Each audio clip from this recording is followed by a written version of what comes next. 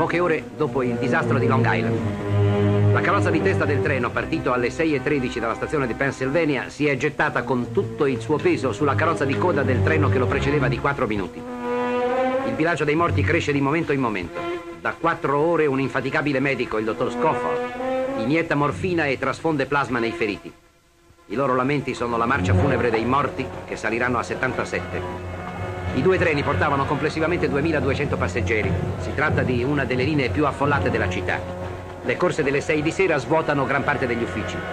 Sacerdoti danno la soluzione mentre la squadra medica della difesa civile giunge con le autoambulanze. Un semaforo aveva fermato il primo convoglio. Al via libera esso si rifiutò di partire. Probabilmente i freni si erano inceppati. Il secondo avanzava a 90 l'ora. A 300 metri il macchinista cercò di bloccare, diede la contromarcia, invano.